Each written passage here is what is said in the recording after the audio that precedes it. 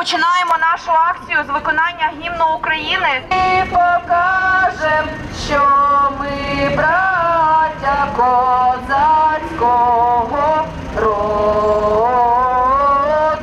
На акцію Поверніть героїв з полону в середмісті Хмельницького зібралося близько восьми десятків родичів військовополонених, зниклих безвісти, разом із волонтерами та свідомими громадянами, розповідає координаторка акції Леся Стебло. На жаль, це єдине, що ми можемо на сьогоднішній день робити, щоб з поля зору не пропадали ті, е, заради кого ми виходимо. Це насправді величезна кількість людей, які сьогодні в безвиході. Це понад 4 тисячі тих, хто в полоні. Це більше 26 тисяч безвісті зниклих. Це 2 тисячі цивільних тільки жінок, які знаходяться в полоні. Невже е, світ не бачить, що це відбувається геноцид, геноцид українського народу? За її словами, цю акцію присвятили полоненим прикордонникам Маріуполя. Олеся, в якої в полоні і син, і чоловік, обидва морські прикордонники, розповідає.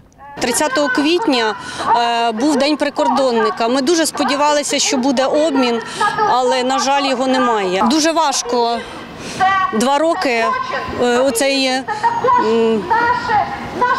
невідомості, неопределенності. Ти не розумієш, що відбувається, що з ними, де вони, як вони, і просто ніби ти в темряві. Коли їм був даний наказ вийти і зберегти життя, е, вони не зберегли життя. Їхня це просто повільна смерть. Ми кожного дня разом з ними помираємо своєю душою. Всі будуть сидіти з своєю родиною за столом. На жаль, ми навіть не будемо знати, чи їли наші рідні і чи взагалі вони живі.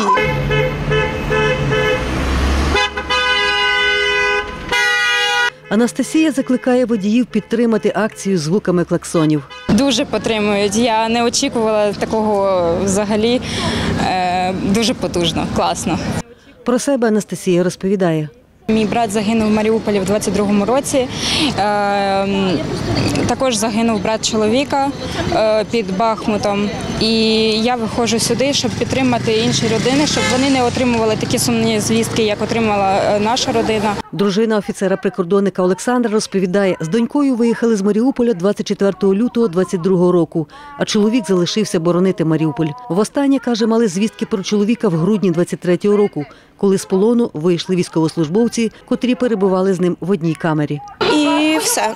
Ну якби зв'язку в нас немає, телефонних розмов, повідомлень. Ні, цього всього не існує. А у нас є донька. Ми виїхали, коли було 11 місяців.